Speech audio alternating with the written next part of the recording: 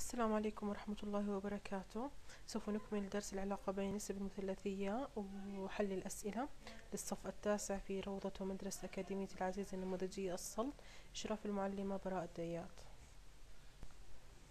حل الأسئلة صفحة أربعة وتسعين تاسع. السؤال الثالث.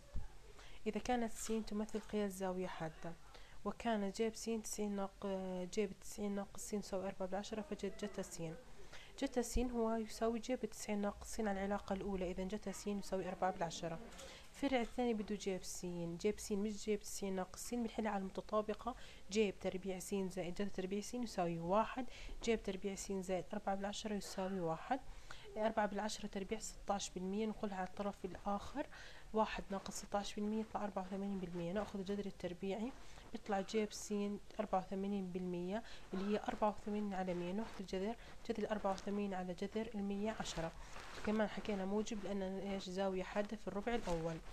السؤال الفرع الثالث ظل س الظل هو جيب على جتا. جذر أربعة وثمانين على عشرة على أربعة بالعشرة أربعة على عشرة عشرة مع عشرة بتروح بيطلع جذر أربعة وثمانين على أربعة س السؤال الرابع جد القيمة العددية لكل المقادير الآتية ثلاثة جذر تسعة عشر ناقص ثلاثة جذر واحد وسبعين. بدي أخذ جتا تسعة عشر نطبق على العلاقة. اللي هي جيب التسعين ناقص سين. تسعين ناقص تسعة عشر واحد وسبعين.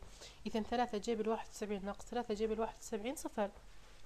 جتا تربيع ثلاثة ثمانين زائد جتا تربيع السبعة ناخذ أخذت الجتا ثلاثة ثمانين اللي هي جيب التربيع ناقص تسعين ناقص س تسعين ناقص ثلاثة ثمانين سبعة. جيب تربيع السبعة زائد جيب تربيع السبعة هي أخذناها متطابقة تساوي واحد. جتا ثمانية وأربعين على جيب سبعة وأربعين. أخذت البسط على العلاقة اللي هي جتا هي عبارة عن جيب تسعين ناقص ثمانية وأربعين اللي هي جيب اثنين وأربعين. جيب اثنين وأربعين على جيب اثنين وأربعين يساوي واحد. السؤال السادس إذا كانت س زاوية حادة وكان جتا س هو يساوي اثنين في جيب س المطلوب أجد جتا س نروح على المتطابقة جيب تربيع س زائد جتا تربيع س يساوي واحد. جيب تربيع س زائد جتا إلها قيمة شو هي اثنين جيب س تربيع.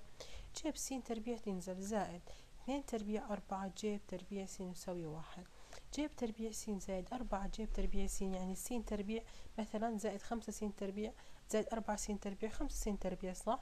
نجمع المعاملات خمسة جيب تربيع س يساوي واحد. نقسم على خمسة بيطلع جيب تربيع س يساوي واحد على خمسة. نأخذ الجذر التربيعي جذر الواحد على جذر الخمسة. إذا واحد على جذر الخمسة.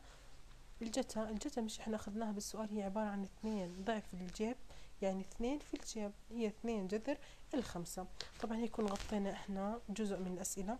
بيظل عندكم السؤال الأول السؤال الأخير واجب؟ بيتي إن شاء الله ويعطيكم العافية.